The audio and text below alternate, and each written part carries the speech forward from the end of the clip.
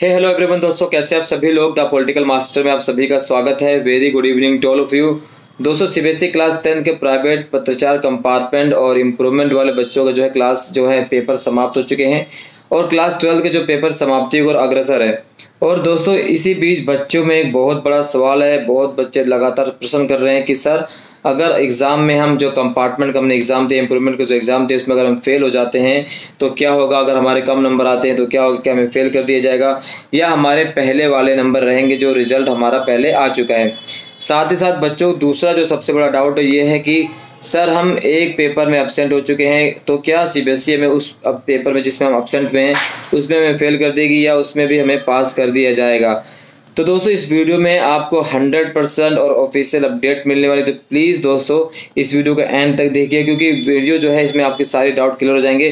कई बार ऐसा होता है कि हम वीडियो को बीच में छोड़ देते तो हमारा डाउट भी आगे के लिए फॉरवर्ड हो जाता है। तो प्लीज़ मैं आपसे रिक्वेस्ट करूँगा तो वीडियो पूरा एंड तक देखिएगा। यदि आप हमारे चैनल पर नए हैं तो चैनल को सब्सक्राइब करना बिल्कुल भी मत भूलिएगा दोस्तों।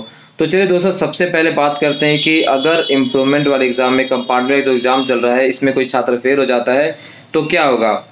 तो दोस्तों, अगर हम सीबीएसई के ऑफिशियल नोटिफिकेशन की बात करें, जो 2 अगस्त को, जी हाँ दोस्तों, आप ध्यान में सुना सीबीएसई द्वारा जो 2 अगस्त को सर्कुलर जारी किया गया था ऑफिशियल नोटिफिकेशन का, कि जो छात्र सीबीएसई की जो डब्ल्यूशन पॉलिसी है, जो सीबीएसई ने जो रिज़ल्ट तैयार किया, अगर उससे ना खुश है तो उसे इम्प्रूवमेंट का एक मौका दिया जा रहा है, अपने नंबर को सुधार करने का मौका दिया जा रहा है। बट इस मौके में जो एग्ज़ाम होंगे, उसमें जो छात्र के नंबर आएँगे, वही नंबर जो है फाइनल कंसिडर किए जाएँगे मार्क्स के अंदर।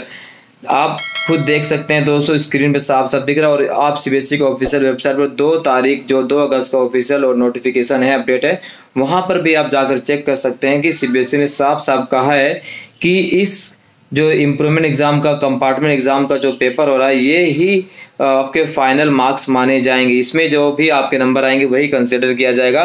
पिछले वाला कंसिडर नहीं होगा दोस्तों। तो क्लियर होगा दोस्तों, आप एक बार मैं फिर से आपको क्लियर कर देना चाहता हूँ कि यही मार्क्स आपके फाइनल होंगे।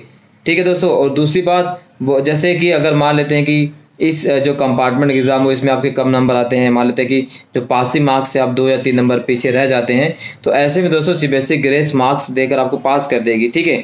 तो पास हो जाएँगे आप तो ये चीज़ आपको ध्यान में रखना बट वही मार्क्स मानने होगा जो आपके पेपर में मिलेंगे इस जो अगर आपने इम्प्रूवमेंट का कंपार्टमेंट का पत्रचार जो पेपर दिया इस बार, ठीक है? इसके साथ साथ मान लेते हैं कि अगर आ, कुछ बच्चे फेल होने वाले हैं। तो देखो एक बात यहाँ मैं क्लियर कर देता हूँ दोस्तों देखो फेल होने के चांसेस बहुत कम है। नाइन्टी परसेंट अगर हम मान के चले सभी बच्चों को सीबीएसई पास करेगी दस परसेंट आगे पीछे हो सकता है ऐसे में। वो देखना तब होगा दोस्तों जब रिज़ल्ट आएगा तीस सितंबर को। तो ये बात आपको क्लियर कर लेने की जो मार्क्स आपके अभी आएँगे वही फाइनल कंसिडर किए जाएँगे। आप इसके नोटिफिकेशन को सीबीएसई के ऑफिशियल वेबसाइट जाकर दोस्तों देख सकते हैं।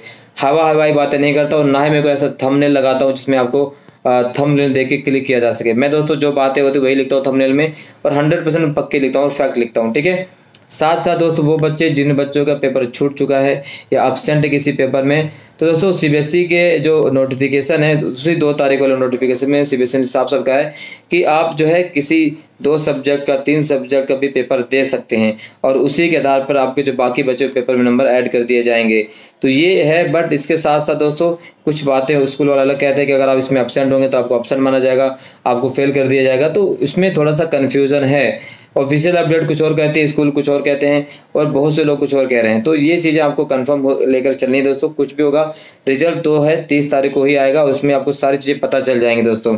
तो ये चीज़ें जो है दोस्तों आई थिंक आपको क्लियर हो चुकी होंगी। अगर दोस्तों, अगर आपके डाउट क्लियर हो चुके हैं तो प्लीज़ मेरे वीडियो को लाइक कर दीजिए। चैनल को सब्सक्राइब कर दिए और ज़्यादा से ज़्यादा शेयर कर दीजिए, ताकि सभी बच्चों तक वीडियो पहुँच सके दोस्तों। बहुत बहुत धन्यवाद दोस्तों, जय हिंद।